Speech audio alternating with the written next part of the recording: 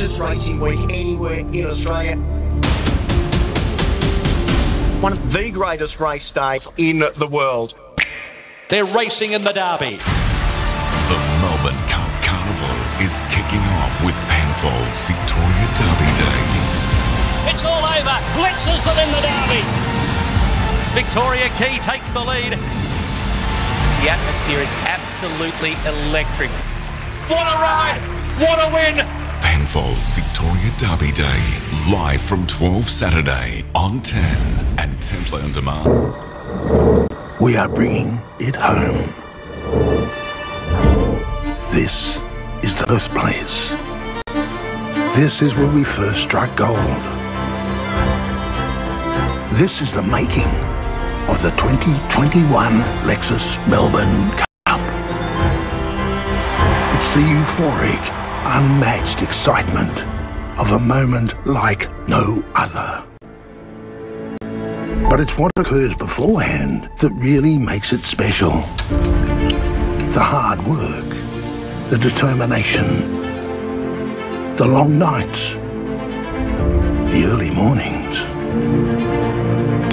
the focus, artistry, and expertise coming together to bring it to life. It's more than a trophy. With gold sourced from Victoria, Australia, where the discovery of gold led to a gold rush that brought the world to our doorstep and transformed the nation.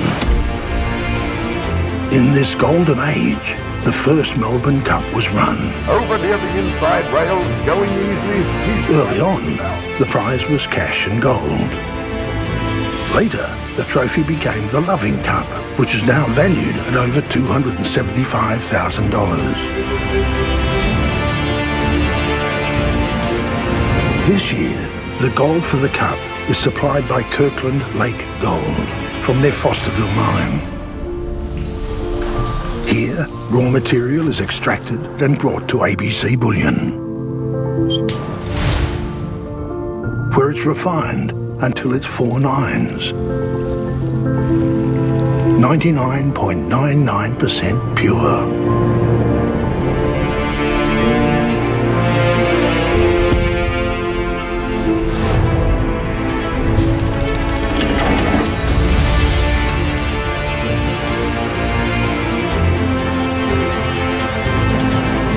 Then it's handcrafted to the Victoria Racing Club's exacting specifications. Each element meticulously crafted.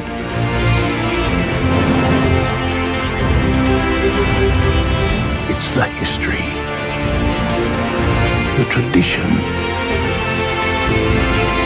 It's the race that not only stops a nation, it pauses the world.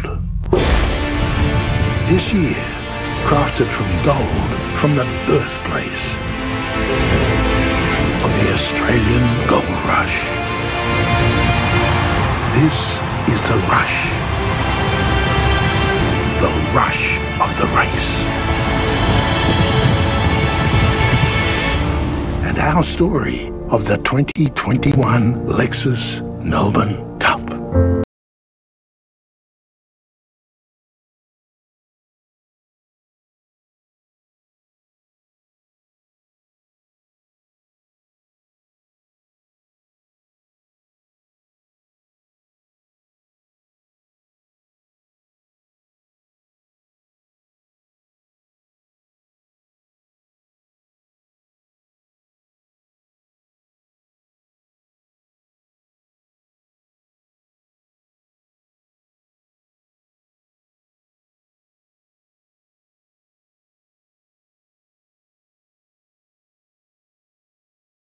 Cup. Old who's captured the hearts of a nation. And on Tuesday, the Queensland Galloper will go into the Lexus Melbourne Cup, the shortest price favourite since Phar Lap. To take a closer look at him, we welcome our form analyst, our form guru in David Gately.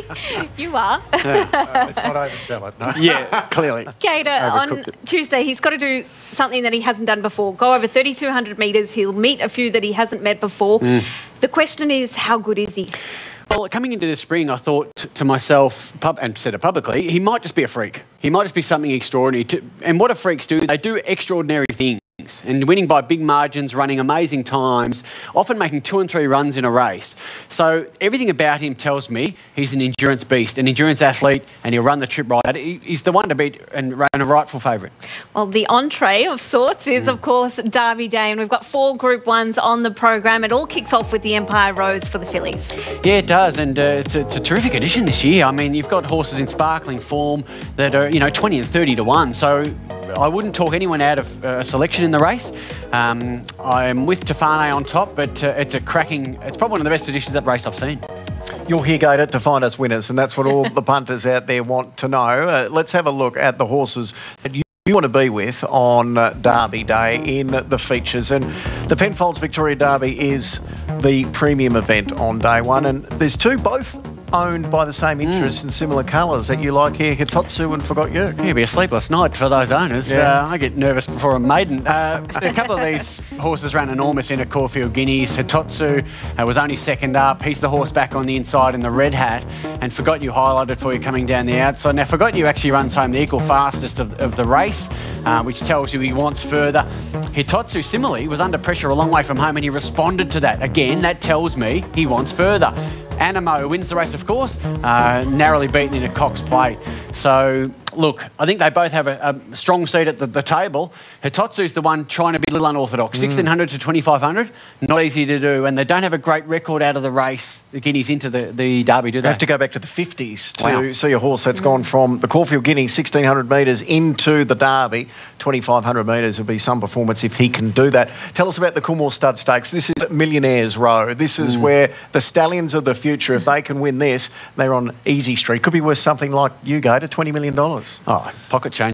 Um, it, it, it has become one of the greatest races on, on the calendar, and the horse I wanted to highlight was Extreme Warrior. He sort of come from nowhere. He won a maiden before this at Echuca, and uh, the, here he tracks a solid speed. He races away with big margins behind, always a good sign. Plenty of merit on the clock, home a really strong last 600 figure.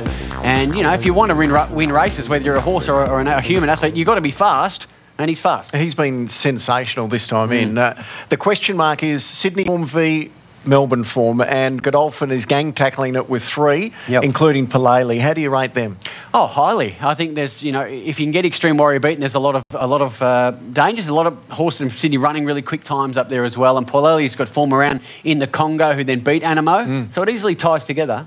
And Gary, taking our attention through to the Lexus Melbourne Cup, who do you like in it? Well, uh, we're still doing our homework, um, but I think the um, I think Incentivised deserves to be favourite without knuckling down to the full form yet. Um, what he's been doing, as I say, is a bit freakish. I think if there's a, a local chance outside of Incentivised, if he doesn't stand up, a horse like Grand Promise